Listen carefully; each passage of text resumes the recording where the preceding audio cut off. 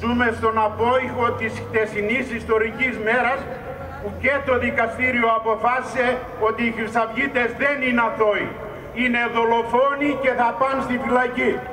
Να ξέρουμε όμως ότι ο αντιφασιστικός αγώνας δεν τελειώνει ποτέ και πρέπει όχι απλώς να τον συνεχίσουμε αλλά και να τον δυναμώσουμε.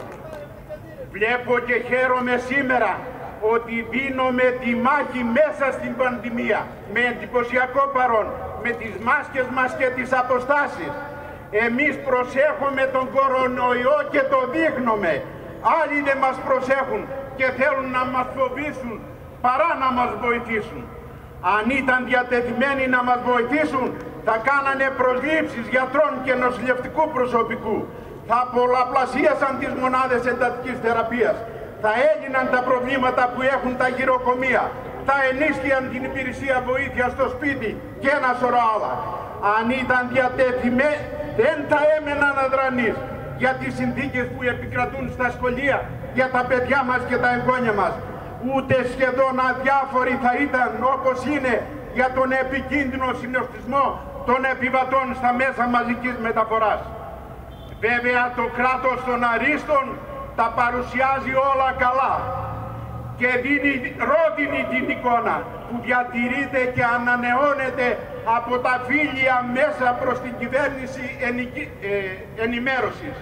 Οι λίστες πέτσα συνάδελφοι κάνουν καλή δουλειά. Ποιο παράδειγμα θέλετε να πάρουμε; Να πούμε ότι έχουμε εκατοντάδες χιλιάδες συναδέλφους, πολλούς και ανάμεσά μας, που είναι συνταξιούχοι χωρίς να έχουν πάρει τη σύνταξή τους εδώ και δυο, τρία, τέσσερα, ακόμα και πέντε χρόνια. Και αυτό δεν το μάθαμε από τον Υπουργό ως όφιλε. Το μάθαμε επισήμως από τον κύριο Ρέγκλη. Ο κύριος Βρούτσης ισχυρίζεται στα κανάλια χωρίς βέβαια το δημοσιογραφικό αντίλογο, γιατί μόνο εκεί πάει, ότι οι συντάξεις πλέον βγαίνουν σε λίγα λεπτά και με το πάτημα ενός κουμπιού. Θα μου πείτε ότι τελευταία ακόμη και για τα εθνικά θέματα από τους Γερμανούς, τους Τούρκους και τους Νατοικούς μαθαίνουμε τα νέα. Προεκλογικά συνάδελφοι μας είχαν τάξει κατάργηση του νόμου Κατρούγκαλου και αυτό που κάνουν είναι να καταργούν αν έστω και λίγα καλά είχε αυτός ο νόμος. Μας υποσχέθηκαν αυξήσεις στις συντάξεις και έφεραν ένα προεπιλογισμό που πριν τον κορονοϊό υπολείπονταν του προηγούμενου 200 εκατομμύρια. Μας υπόσχονταν αναδρομικά με το τσουβάλι και με την πιλωτική δίκη βρήκαν τον τρόπο να τα πετσοκόψουν, περιορίζοντάς τα στο εντεκάμινο αλλά ήρθε και το χειρότερο συνάδελφοι.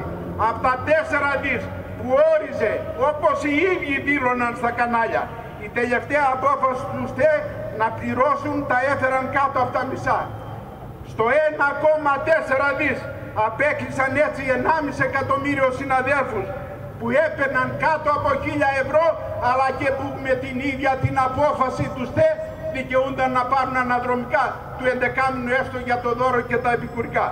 Και προχτές συνάδελφοι, όχι χτες προχτές, πετσόκοψαν εντελώς αυθαίρετα και πριν την απόφαση του ελεκτικού συνεδρίου που κατά τα άλλα λένε ότι σέβονται τα αναδρομικά των συνταξιούχων του δημοσίου. Αυτό δείχνει θράσος και υποκρισία. Όλα ήταν μεθοδεύσεις για να κλέψουν την ψήφο των συνταξιούχων. Τους πήραμε όμως χαμπάρι από πολλά πράγματα, αλλά ειδικά από ένα, έστω και κατόπιν εορτής μόνο και μόνο με την κατάργηση της κουτσουρεμένης αλήθεια 13ης σύνταξης και την άθλια δικαιολογία ότι την έκοψαν επειδή ήταν κουτσουρεμένη. Να δούμε τώρα τι θα κάνουν. Οι γιορτές έρχονται, εμείς εδώ με τη ΣΕΑ θα βρεθούμε ξανά στους δρόμους να διεκδικούμε μια όχι κουτσουρεμένη αλλά ολόκληρη σύνταξη για το κάθε συνταξιούχο. Αποκαλύφθηκαν συνάδελφοι, κάθε μέρα αποκαλύπτονται, αλλά αποκαλύφθηκαν χοντρά από τις μεθοδεύσεις για την παράδοση του επι, επικουρικούς στους ιδιώτες. Στη δίθεν διχογνωμία του Μηταράκη με το βρούτσι, θυμάστε ο ένας ήθελε ιδιώτες, ο άλλος δημόσιο, ο, ε, προσθέθηκε η στοχευμένη πίσνα του αιώνα με παράδοση της επικουρικής ασφάλισης στις ασφαλιστικές εταιρείες από τον σύμβουλο πλέον του ίδιου του Πρωθυπουργού, τον κύριο Πατέλη. Δήλωσε μάλιστα ότι οι νέοι είναι ντροπή να πληρώνουν εμάς τους συνταξιούχους. Δηλαδή ετοίμασε τον κοινωνικό αυτοματισμό. Είπατε δίθεν για τους νέους. Δεν λέει όμως κουβέντα για τους μισθούς ντροπής και τα μεροκάματά τους που έχουν σήμερα. Δεν λέει κουβέντα και κανένας δεν το λέει ότι εμείς έχουμε χρυσοπληρώσει τη συντάξη μας. Απλώς αυτοί με διάφορα κόλπα, δομημένα ομόλογα, PSI του Βενιζέλου, πήραν τα λεφτά από τα ταμείο μας και τώρα μας μιλάνε. Σύντομα συνάδελφοι για αυτό το θέμα θα χρειαστεί να κάνουμε σκληρό αγώνα. Και αν αυτόν τον αγώνα δεν το δώσουμε όλοι μαζί, να είστε βέβαιοι ότι δεν θα χάσουμε μόνο σταδιακά εμείς το επικουρικό. Θα χάσουν τα γρήματά τους γιατί θα τα βάλουν στον τζόγο και οι νέοι εργαζόμενοι θα έχουν την τύχη, δεν αποκλείεται, της Lehman Brothers ή της ντόπιας ασπής πρόνοια. Θέλω να τελειώσω για την ε, να μην εκμεταλλευτώ. Αξίζει όμως να αναφέρω δύο παραδείγματα που δείχνουν τις συμπεριφορές και είναι τις συμπεριφορές του επιτελικού κράτους και είναι πάνω στους συνάδελφους μου στα ΕΡΤΑ. Η μια αφορά την άνοιξη μεταχείρισης του Υπουργού Εργασίας για το επικουρικό μας. Ακούστε, οι συνταξιοδοτηθέντες πριν το 2015 από τον ίδιο εργοδότη με την ίδια και απαράλλακτη εργασία και οι ίδιες εισφορές με αυτούς μετά το 2015 παίρνουν τη μισή επικουρική σύνταξη. 300 ο ένας, 150 ο άλλος.